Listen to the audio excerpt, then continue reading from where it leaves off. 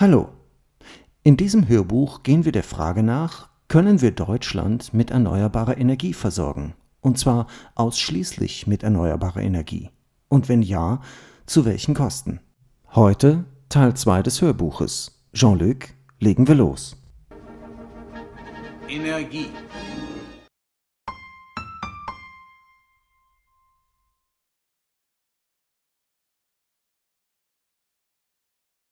Historische Entwicklung. Vergleichen wir unseren momentanen Energieverbrauch von 125 Kilowattstunden pro Tag pro Person einmal mit historischen Werten. Noch bis vor ein paar hundert Jahren haben die Menschen auch in Deutschland üblicherweise nachhaltig gelebt, also den Energieverbrauch aus eigener Körperleistung, der von Haustieren und vor allem aus nachwachsenden Rohstoffen bestritten. Wenn wir nur die Energie zur Verfügung hätten, die wir mit eigener Körperkraft erzeugen können, wären wir sehr eingeschränkt. Wenn Sie sich mal auf einen Hometrainer setzen und schwungvoll in die Pedale treten, können Sie nur grob 100 Watt Leistung schaffen. In 10 Stunden harter körperlicher Arbeit also nur eine einzige Kilowattstunde. Das ist übrigens auch der Grund, warum es keinen großen Sinn macht, Fitnessstudios als kleine Kraftwerke zu nutzen. Spitzenradfahrer bei einer Bergetappe treten zwar über einen längeren Zeitraum mit 400 Watt in die Pedale, aber die Fahrer haben nach so einer Bergetappe großen Hunger. Wir sind also auf Energie aus anderen Quellen angewiesen, zum Beispiel Kohle, Öl, Gas, Atomkraft, Wind oder Sonne. Bis ins Mittelalter wurden als Energiequellen Holz zum Heizen und Getreide als Futter für Tiere verwendet und vielleicht noch Wasserkraft. Tiere waren die damaligen Maschinen, mit denen schwere Arbeit wie das Pflügen der Felder, der Transport von Waren und die Arbeit im Wald verrichtet wurden. Wenn wir alles zusammenzählen, ergibt dies einen damaligen Verbrauch von vielleicht 25 Kilowattstunden pro Tag pro Person. Dafür standen im Schnitt drei bis vier Hektar oder 30.000 bis 40.000 Quadratmeter Fläche pro Person zur Verfügung. Bei intensiver, moderner Bewirtschaftung kann man 50.000 Kilowattstunden pro Jahr aus einem Hektar herausholen. Bei einem damaligen Jahresverbrauch von insgesamt 25 Kilowattstunden pro Tag mal 365 Tage ergibt dies 9125 Kilowattstunden. So konnte man also auch ohne intensive Bewirtschaftung nachhaltig leben. Leider hat sich seitdem das Bild dramatisch gewandelt und der Trend scheint keineswegs umzukehren. Unser Energieverbrauch in Deutschland ist um den Faktor 5 gestiegen. Die zur Verfügung stehende Fläche beträgt aber pro Person nur noch ca. 0,4 Hektar, etwas mehr als die Hälfte des Rasens in der Münchner Allianz Arena. Diese pro Person zur Verfügung stehende Fläche wirft maximal 20.000 Kilowattstunden ab falls jeder Quadratmeter in Deutschland nur für Biomasse verwendet würde. Bei einem Jahresbedarf pro Person von heutzutage 125 Kilowattstunden pro Tag mal 365 Tage ergibt dies 46.625 Kilowattstunden. Das reicht aber nicht. Es ist zwar eine schöne Vorstellung, dass jeder im eigenen Garten oder in kleinen Gemeinschaften auf traditionelle Art seinen Energiebedarf selbst deckt, aber das ist vollkommen unrealistisch, wenn wir uns nicht dramatisch einschränken. Natürlich können wir auch kleine Möglichkeiten zur Energieproduktion zu Hause nutzen, aber einen großen Beitrag werden diese nicht leisten. Die Zahlen zeigen uns, dass wir im Vergleich zu früher deutlich effizientere Technologien und neue Quellen zur nachhaltigen Energiegewinnung benötigen. Internationaler Vergleich Werfen wir mal einen Blick auf den Energieverbrauch anderer Länder. Das nächste Bild zeigt einen faszinierenden Vergleich mit dem Rest der Welt. Die horizontale Achse zeigt das Bruttosozialprodukt pro Einwohner die vertikale Achse den Energieverbrauch in unserer Einheit Kilowattstunden pro Tag pro Person. Es gibt einen ganz klaren Trend. Je reicher das Land, desto höher der Energieverbrauch. Der durchschnittliche Energieverbrauch der gesamten Menschheit lag 2016 pro Person bei 57 Kilowattstunden pro Tag, weniger als die Hälfte unseres Verbrauchs in Deutschland. Fair wäre es, sich in der Welt auf den mittleren Energieverbrauch zu einigen. Dann müssten wir aber unseren Energiebedarf halbieren. Die USA müssten ihren sogar vierteln, wogegen Länder in Asien und Afrika noch ein großes Potenzial für den Energieausbau hätten. Die Grafik macht sehr deutlich, welche Aufgabe uns in den nächsten 50 bis 100 Jahren erwartet. Orange Punkte zeigen übrigens Europa, Amerika und Australien, blaue Asien und grüne Afrika an. Man muss sich klar machen, dass ein Großteil der Bevölkerung, der jetzt erst damit startet, Energie zu verbrauchen, über grüne und blaue Punkte verteilt ist. Schauen Sie doch mal, wo Indien und China liegen. Der Zusammenhang reich gleich hoher Energieverbrauch ist übrigens auch im Kleinen verblüffend schwer zu durchbrechen. Egal, was wir uns vormachen, ein hohes Einkommen ist mit der wichtigste Indikator für einen hohen Energieverbrauch. Wer reich ist, hat üblicherweise eine große Wohnung oder ein großes Haus, das erst gebaut und dann beheizt werden muss. Er hat meist mehrere Autos, fährt häufiger in den Urlaub, kauft sich mehr Produkte, die selbst Energie verbrauchen und Energie zu ihrer Produktion und Entsorgung benötigen und ist gegebenenfalls beruflich deutlich häufiger in der Welt unterwegs. Die energiemäßig sparsamsten Personen, auch wenn sie sich gar nicht für urbanen, grünen Lifestyle interessieren, sind Rentner mit niedrigen Einkünften und kleinen Wohnungen, die kein Geld für Autos oder Urlaubsflüge haben. Um als durchschnittlicher westlicher Bürger seinen Energieverbrauch deutlich zu reduzieren, sind große Anstrengungen vonnöten. Wofür benötigen wir so viel Energie? Als nächstes sollten wir uns mal ansehen, wofür unsere 125 Kilowattstunden pro Tag pro Person denn überhaupt verwendet werden.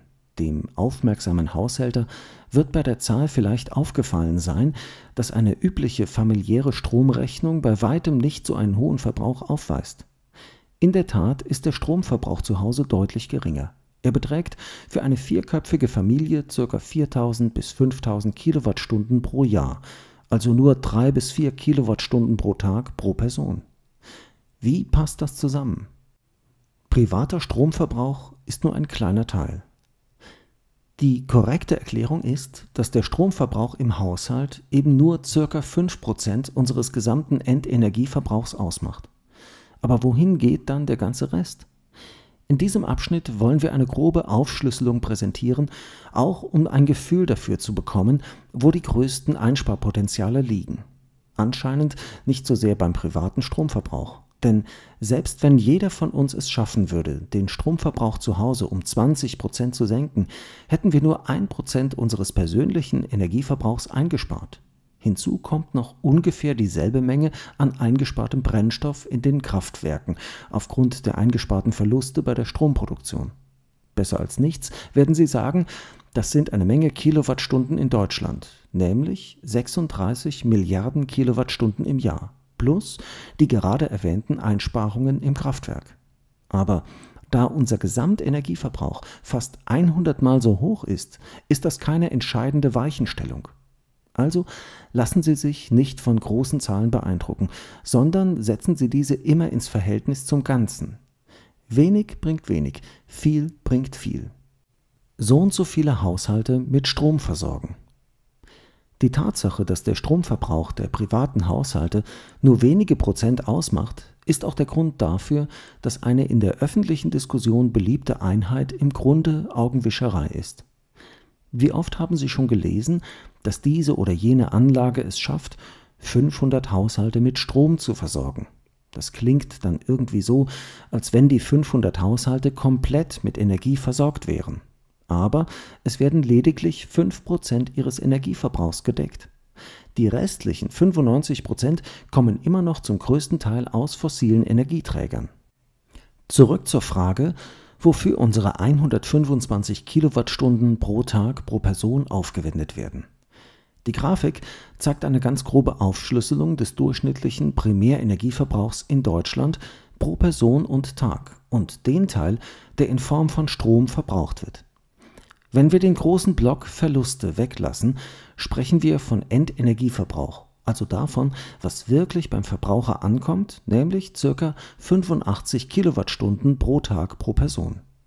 Wir sehen, der private Stromverbrauch macht nur 5% des Endenergieverbrauchs aus, der gesamte Stromverbrauch nur 20%. Der Rest, also 80 Prozent des Endenergieverbrauchs, kommen direkt aus zumeist fossilen Brennstoffen, ohne den Umweg über die Stromproduktion. Hören Sie deswegen genau hin. Wollen wir es schaffen, 50 Prozent unseres Stromverbrauchs über Erneuerbare zu decken oder 50 Prozent unseres Gesamtenergieverbrauchs? Ein gewaltiger Unterschied. Zudem können wir ein paar große Blöcke im Endenergieverbrauch ausmachen. 45 Prozent sind Industrie und Gewerbe etc.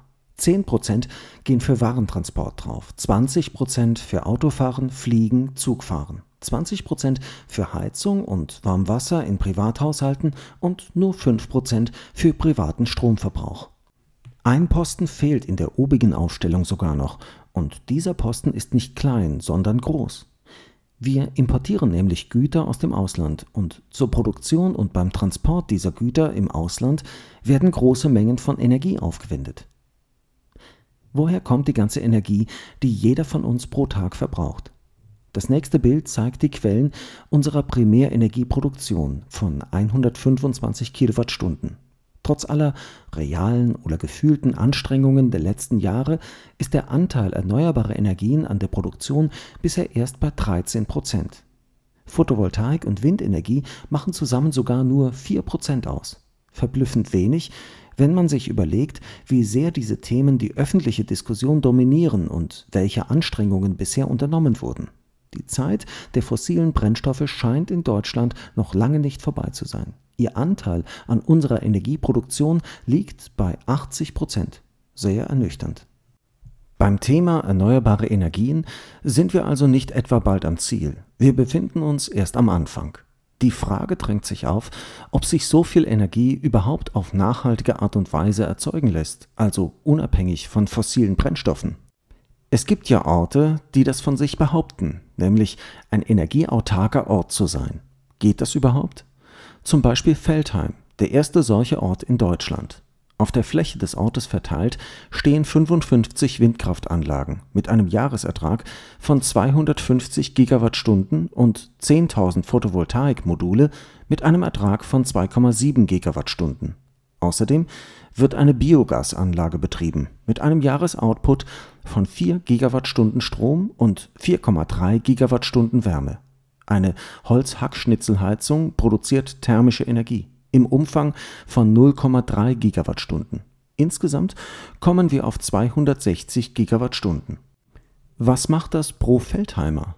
Nun, es leben knapp 150 Personen in Feldheim. Pro Person und Tag macht das sagenhafte 4750 Kilowattstunden. Das ist wirklich energieautark. Die wichtige Zusatzinformation lautet aber, dass Feldheim eine Fläche von 1570 Hektar besitzt und dem stehen lediglich 150 Einwohner gegenüber. Jedem Feldheimer stehen also 10 Hektar zur Verfügung, 20 mal so viel wie dem Durchschnittsdeutschen. Und praktisch die gesamte Fläche wird für erneuerbare Energien verwendet. Nun drängt sich die Frage auf, ob das Modell trotzdem erweiterbar ist. Könnte man das auf ganz Deutschland ausdehnen? Die folgenden Kapitel beschäftigen sich genau mit dieser Frage und wollen abschätzen, ob das Potenzial der erneuerbaren Energien groß genug ist oder nicht. Wir wollen dafür den Verbrauch und die Produktion durch erneuerbare Quellen in einer Bilanz gegenüberstellen. Auf der einen Seite steht eine rote Säule, die unseren Energieverbrauch von 125 Kilowattstunden pro Tag und pro Person darstellt auf der anderen Seite eine grüne Säule für die Produktion, die wir nach und nach in den nächsten Kapiteln auffüllen wollen. Wird die grüne Säule genauso hoch werden wie die rote? Vielleicht sogar höher?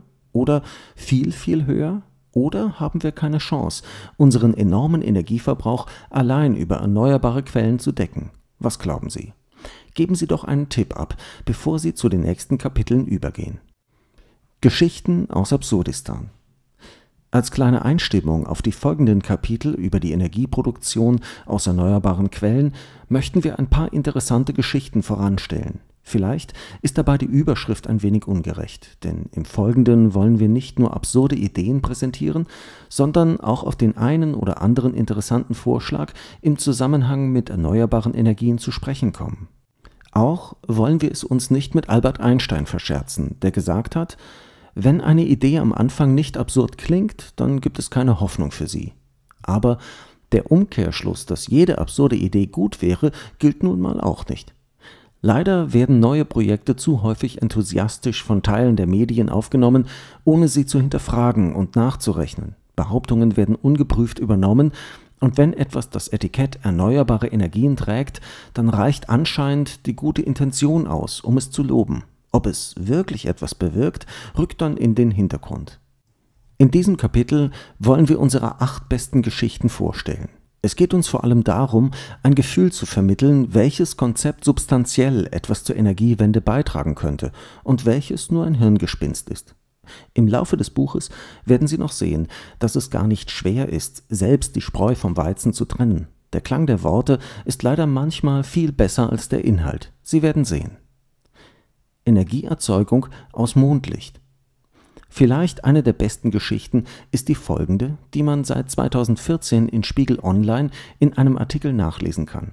Dort wird suggeriert, man könne aus Mondlicht Energie erzeugen. Wir zitieren. Mondlicht als Energiequelle. Lade, Auto, lade. In dieser Glaskugel könnte die Zukunft stecken. Der transparente Ball ist mit destilliertem Wasser gefüllt und bündelt Lichtstrahlen, deren Energie sich in Strom umwandeln lässt. Klingt nicht besonders kompliziert, trotzdem muss man erst einmal darauf kommen. André Brössel, deutscher Architekt mit Sitz in Barcelona, hat daraus das Energiegewinnungssystem Beta Ray entwickelt, das er nun mit seiner Firma Rawlemon vermarkten möchte. Der Clou von Beta Ray? Das System produziert grünen Strom und zwar Tag und Nacht. Je nach Durchmesser der Glaskugel, es gibt zunächst zwei Größen mit einem Meter und einem Meter 80 Durchmesser, werden die Strahlen im Brennpunkt bis um das 20.000-fache verstärkt. Das so konzentrierte Licht wird dann mittels Photovoltaikzellen und wärmeabsorbierenden Minigeneratoren in Strom umgewandelt. Funktioniert sogar mit Mondlicht. Ein weiterer Clou von Brössels Erfindung ist das sogenannte Mikrotracking. Die Technik sorgt dafür, dass die Photovoltaikmodule und Minigeneratoren schwenkbar sind und so immer im optimalen Winkel zum einfallenden Licht stehen. Dadurch funktionieren die Kollektoren auch bei diffusem Licht und sogar bei Mondschein. Nachts wird aus Solarenergie dann Lunarenergie. Durch Lichtenergie gewonnener Strom könnte damit auch nachts und somit wesentlich konstanter produziert werden. Es fällt uns schwer, beim Lesen ruhig zu bleiben.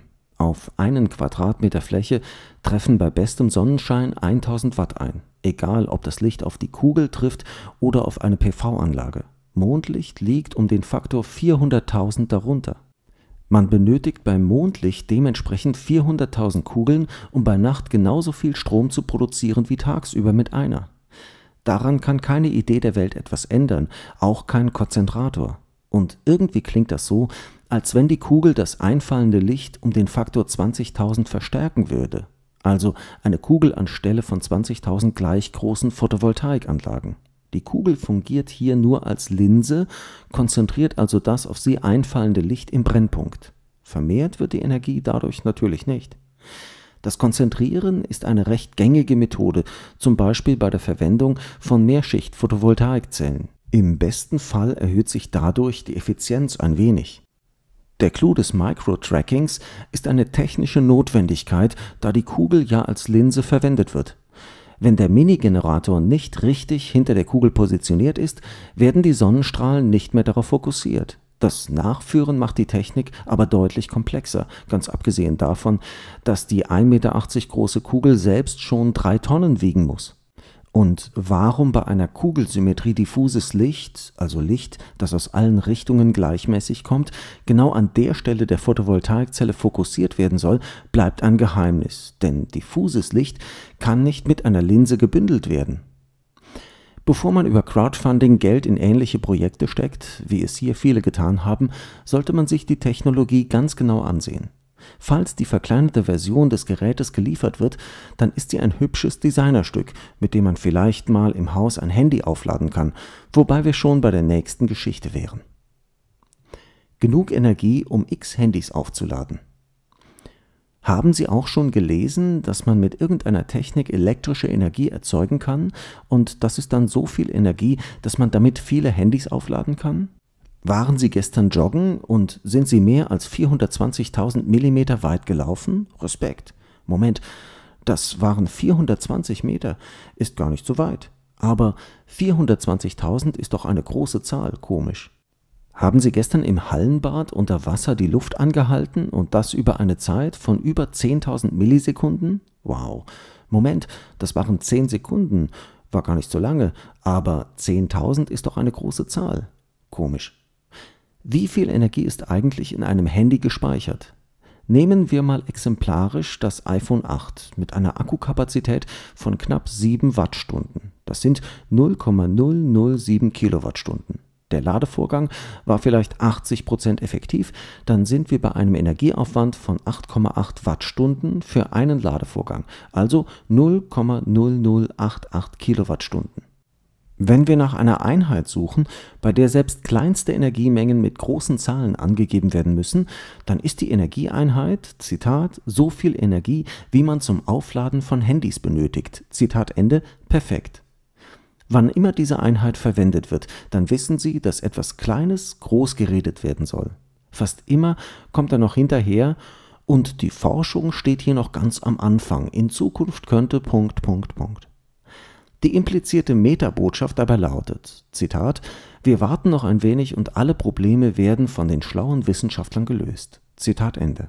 Klar ist es vorteilhaft, wenn man das Handy ohne Steckdose laden kann. Ja, sehr nützlich wäre das zum Beispiel auf einer Radtour, wo man das Handy als Navi benutzt.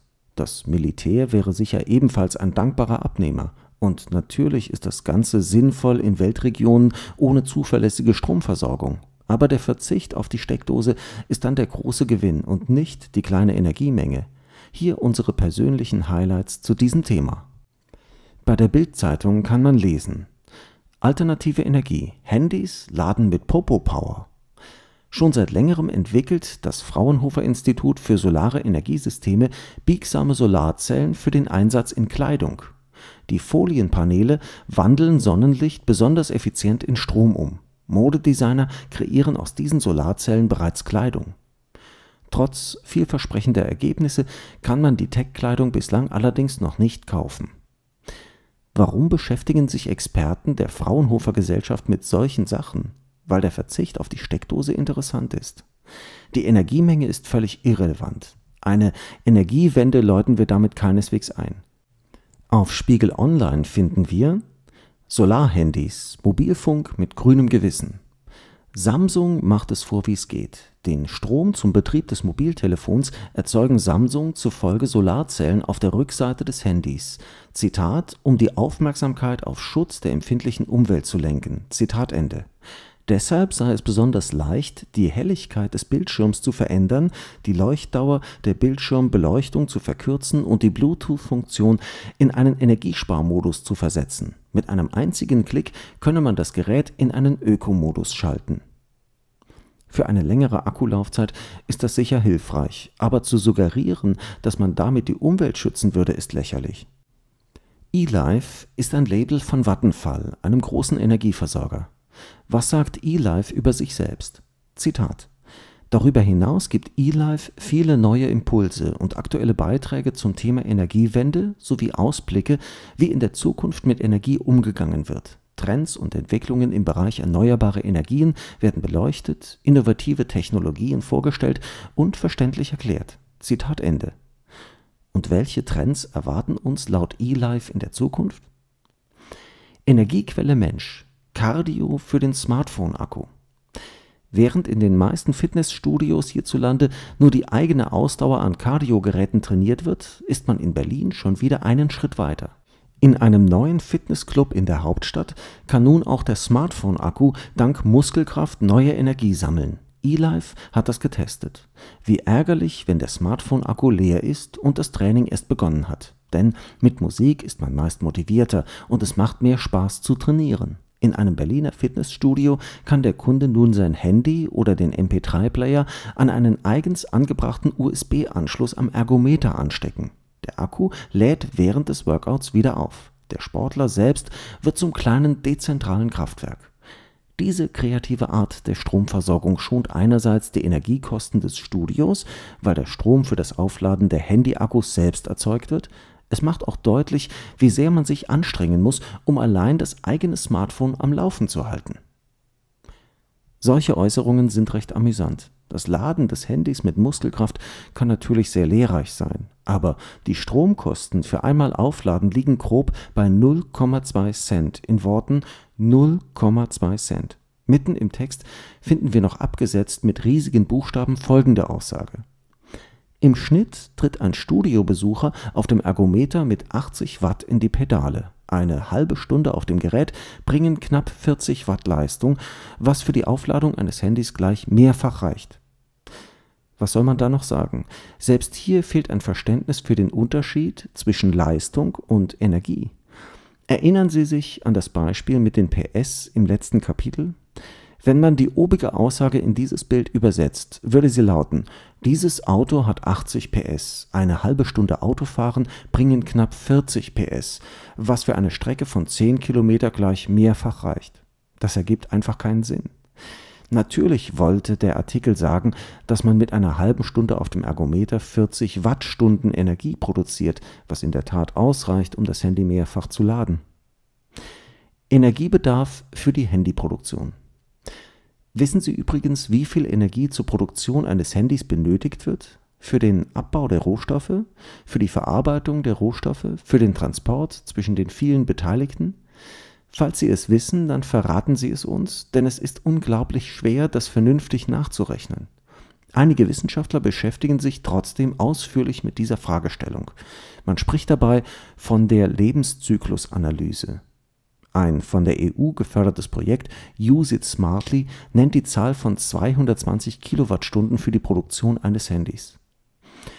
Wir sind auf Schätzungen zwischen 40 und 280 Kilowattstunden für die Produktion eines Handys gestoßen, ein breiter Korridor. Vergleichen wir dies mit der gesamten Ladeenergie für den Lebenszyklus, gehen wir dabei von einer langen Lebenszeit von drei Jahren aus und davon, dass in dieser Zeit das Handy täglich einmal aufgeladen wird – dann kommt man auf ca. 1000 Ladevorgänge.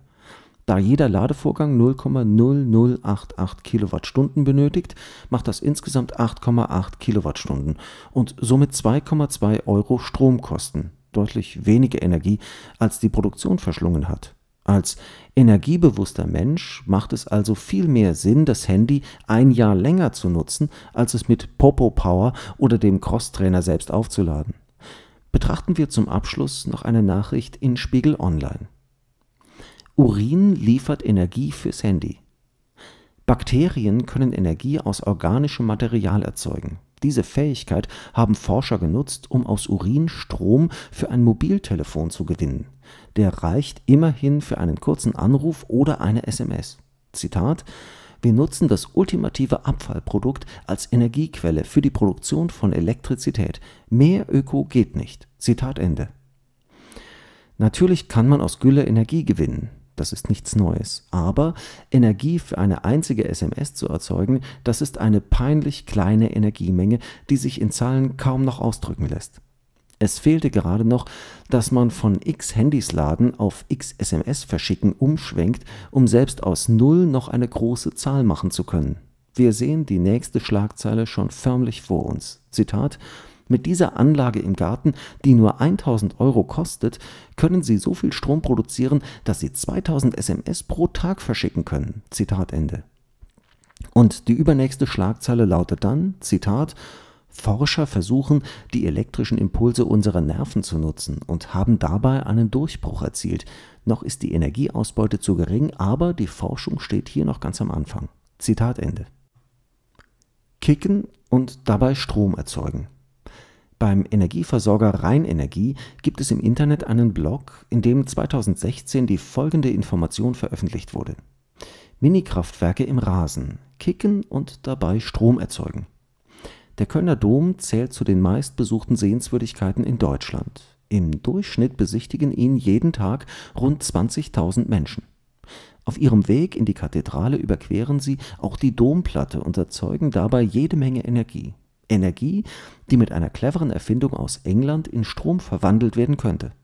Das Londoner Start-up-Unternehmen PaveGene Systems hat nämlich Bodenplatten entwickelt, die die kinetische Energie von Schritten in Elektrizität umwandeln.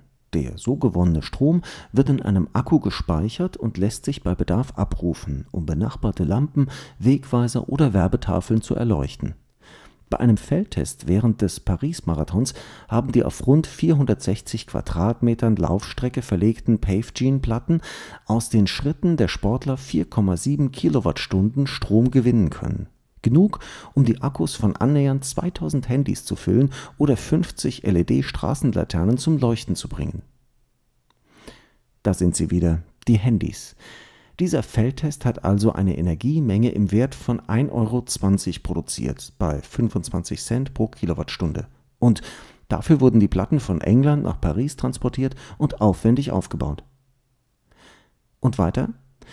Das junge Unternehmen kann bereits eine Reihe von erfolgreichen Projekten vorweisen. In Rio de Janeiro erhellen die Platten seit September 2014 einen Fußballplatz inmitten einer Favela Dank eines zusätzlich über Solarzellen geladenen Akkus bleibt der Platz bis zu zehn Stunden lang hell erleuchtet und ermöglicht den Bewohnern so auch in den Abendstunden und bei Nacht ihr liebstes Spiel. Erfunden hat die smarten Platten der erst 28 Jahre alte Ingenieur Lawrence Kimball Cook. Mit seiner Erfindung will er auch an Orten, die sich nicht zur Produktion von Wind- und Solarenergie eignen, nachhaltig Strom erzeugen Mittlerweile hat der Engländer prominente Fürsprecher gefunden. Allen voran zeigte sich der Physiker Stephen Hawking begeistert von der Technik und bescheinigte ihr das Potenzial, die Art, wie wir in Zukunft Energie erzeugen, auf radikale Weise verändern zu können. Kann das wirklich sein? Kann diese Idee unsere Energieerzeugung radikal verändern? Rechnen wir mal nach und machen an allen Stellen großzügige Annahmen. Ein Mensch hebt und senkt seinen Körperschwerpunkt beim Gehen. Nehmen wir eine Person mit einem Gewicht von 70 Kilogramm, die pro Sekunde zwei Schritte macht, und nehmen wir an, dass der Körperschwerpunkt dabei 5 cm gehoben und gesenkt wird. Wenn man ein wenig rechnet, dann ergibt sich eine Leistung von 70 Watt für diesen Vorgang. Wenn wir nun ein System haben, das mit einer Effizienz von 10% diese Energie einfängt, dann haben wir pro Person eine Leistung von 7 Watt. Viel mehr wird wohl schwierig, denn irgendwann erschweren die Platten das Laufen auf ihnen merklich und wir müssten deutlich mehr Energie für die Fortbewegung aufwenden, ähnlich wie beim Laufen auf Sand. Den Energieerhaltungssatz können wir partout nicht überwinden. Ein Mensch schafft es nur unter großer Anstrengung, mehr als 100 Watt Leistung zu erbringen. Nehmen wir das Ende einer Rolltreppe, die zu einer S-Bahn führt. Dort verlegen wir auf 4 mal 4 Metern die Platten. Zur besten Zeit sind vielleicht permanent fünf Personen in diesem Bereich, nachts kaum jemand, also im Schnitt bei ganz optimistischer Rechnung zwei bis drei Personen.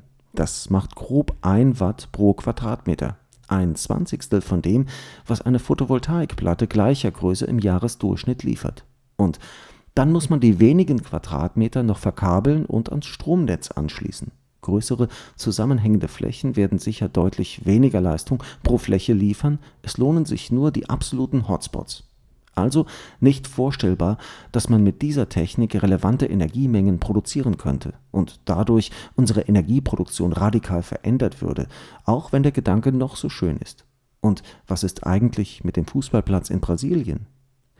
Der CEO von Pavegene wird zitiert.